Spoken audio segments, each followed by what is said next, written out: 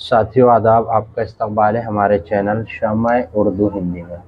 आज हम करने जा रहे हैं N I O S class tenth Hindi 201 का टी एम है 2023 और 24 का। प्रश्न नंबर एक है भित्ति विभारी जागरी कविता में प्राकृतिक सौदाय का सुंदर चरित्र है। उसे अपने दैनिक जीवन में प्राकृतिक में क्या परिवर्तन करने चाहते हैं?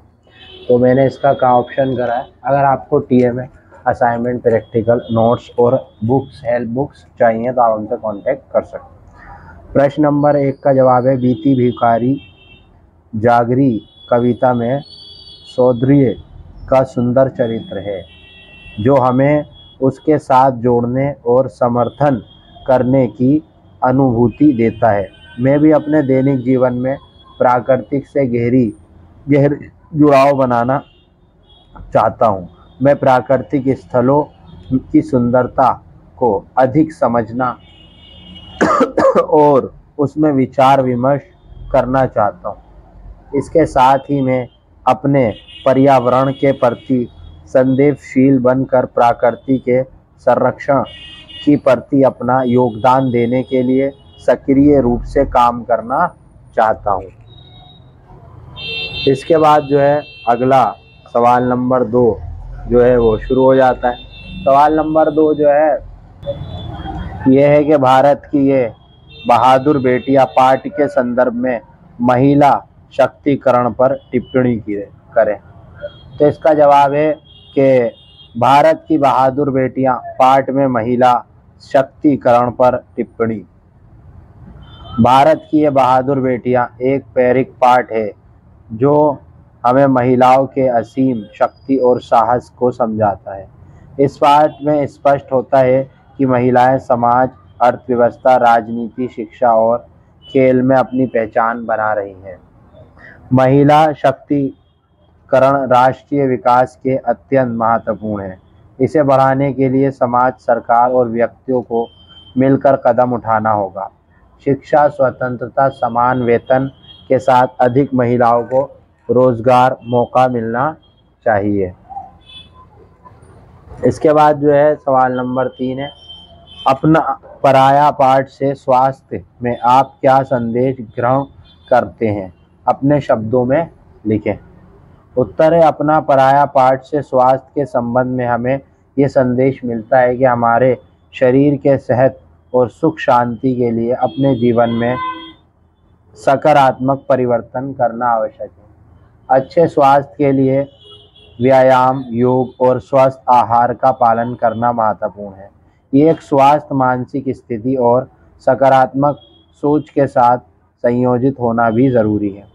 हमें अपने शरीर की सुनी और उसकी देखभाल करनी चाहिए और साथ ही दूसरों के का भी ख्याल रखना चाहिए। स्वस्थ रहने में हमें संदिग्ध सम्मान और सुखी जीवन का आनंद उठा सकते हैं। प्रश्न नंबर चार है, गिल्लू पाठ के आधार पर मनुष्य, पशु पक्षी के परस्पर संबंध में उल्लेख कीजिए। इसका उत्तर है कि गिल्लू एक लोकप्रिय कथा है, जो भारतीय संस्कृति संस्कृति में बच्चों की शिक्षा देने वाली है। ये कथा एक पक्षी मैना के जीवन को दर्शाती है जो अद्भुत मनोवैज्ञानिक योग्यता रखता है। गिल्लू अपने दोस्त बंटी के साथ अनेक चालाकियों का सामना करता है। गिल्लू और मैना के परस्पर संबंध देखने पर हम देखते हैं कि पक्षियों के साथ मनुष्य के बीच एक विशेष जुड़ाव हो सकता है। ये कथा दिखाती है कि जैसे मैंने गिल्लू के साथ एक दोस्ताना संबंध बना है और उस रस से उससे बातचीत करता है। ठीक उसी तरह मनुष्य भी पक्षियों के साथ अपने आसपास की प्राकृतिक जगत के साथ एक संबंध बना सकता है। पांचवा प्रश्न है कि रॉबर्ट नर्सिंग होम के पाठ के आधार पर जीवन की सतर्कता को स्पष्ट कीजिए। आपके लिए जीवन में क्या अधिक महत्वपूर्ण है? तर्क सहित उत्तर दीजिए। इसका जवाब है, रॉबर्ट नर्सिंग होम, एक दे बाल गृह है, जो बूढ़ों के लिए स्थायी आवास प्रदान करता है। इस पार्ट, इस गठन में रहने वाले एक बूढ़े व्यक्ति, रॉबर्ट नर्सिंग होम ने अपने जीवन की सतर्कता को पाता है। इस पाठ से स्पष्ट होता है कि जीवन सतर्कता व्यक्ति के लिए कार्तिक और मानवीय संबंध, सेवन, समर्थन और सम्मान में स्थापित होती है। रॉबर्ट नर्सिंग होम वाले व्यक्ति को एक परिवार की भावना, साथीदारी और परोपकारी रूप से अनुभव करने का अवसर मिलता है, जिससे उन्हें आत्मसम्मान और संबंधित अनुमति होती है। जीवन में मेरे लिए सबसे महत्वपूर्ण विचारों में सहायता समर्थन, सच्चे रिश्ते, सेता भाव, स्वभाव और स्वास्थ्य और स्मृति शामिल है। संबंधों के महत्व अनमोल हैं क्योंकि ये जीवन के सबसे अच्छे पलों को देते हैं। सेवा और समर्थन में जीवन का असली अर्थ प्राप्त होता है। जो सिर्फ़ अपने लिए नहीं, बल्कि समाज के लिए भी उपयुक्त है। अतिरिक्त एक सार्थक जीवन के लिए ये तर्क है कि अपने स्वास्थ्य का ध्यान रखना और अपने उद्देश्यों की प्राप्ति के लिए अध्ययन है और आत्मविकास का भी महत्वपूर्ण बनना चाहिए। स्मृति ने केवल सतर्क जीवन का आनंद बढ़ता है, बल्कि दूसरों के साथ साझा करने के लिए भी साधन प्रदान करती है।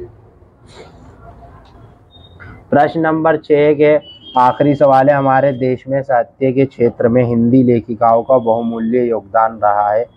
किन्हीं पाँच लेखकों के बारे में संपूर्ण जानकारी एक तीर्थ कीजिए और उनके वितरण प्रस्तुत के लिए फ़ाइल तैयार कीजिए। इसका जवाब है कि परियोजनाएँ शैक्षिक हिंदी महिला लेखिकाओं का बहुमूल्य योगदान। भारतीय साहित्य के क्षेत्र में हिंदी महिला लेखिकाएँ अपने साहित्य रचनाओं द्वारा एक विशिष्ट स्थान उन्होंने अपने शब्दों के माध्यम से सामाजिक, राजनीतिक, सांस्कृतिक और मानसिक मुद्दों को सुलझाने की से महत्वपूर्ण योगदान दिया है। महादेवी वर्मा, जन्म 26 मार्च 1907 निधन 11 सितंबर 1970 सम्मान ज्ञानपदी पुरस्कार उन्नीस चरित्र महादेवी एक प्रसिद्ध कविता थी, जिन्हें कविताएँ, भावुकता और असत्य से भरी होती है। इंदिरा गोरास्वामी, जन्म इनका ये है, निधन इस दिन में हुआ, सम्मान के अकादमी पुरस्कार। चैत इंदिरा गोस्वामी, विभिन्न उपन्यास, कहानी और कविताओं को प्रसिद्ध लिखी जिन्होंने महिला और समाज के मुद्दों पर लिखा है। इसके बाद तीसरी है कमला सराय जन्म 31 जनवरी उन्नीस सौ चौंतीस, निधन इकतीस मई 2009 सम्मान पद्म श्री 2006 चरित कमला सुरैया एक विक्स कविता, कलाकार और नाटककार थी। मंत्र भंडारी, जन्म 26 अप्रैल उन्नीस सौ इकतालीस, सम्मान अकादमिक पुरस्कार 2000 चरित्र मूत्र भंडारी एक प्रसिद्ध उन्नीसकारी थी। आत्म परिषद जन्म अक्टूबर, निधन 27 नवंबर 2005 सम्मान, ज्ञान, पदी पुरस्कार उन्नीस सौ इक्यासी, उन्नीस सौ निन्यानवे पद्म भूषण चरित्र अमृत परिषद एक प्रमुख कविता थी, जिन्हें कविताएँ प्रेम, जीवन और वाणी बहुत विचारों को बयां करती। तो ये था भाई आपका जो है टी एम हिंदी का 2023-24 के बच्चों के लिए। जिनका एग्ज़ाम जो है 2024 में, मार्च अप्रैल में है। और 2024 में अक्टूबर, नवंबर में उन दोनों के लिए एक ही तरह का टी एक ही बार आता है। उम्मीद है कि आपको ये मालूम पसंद आई तो लाइक, शेयर, सब्सक्राइब करें। थैंक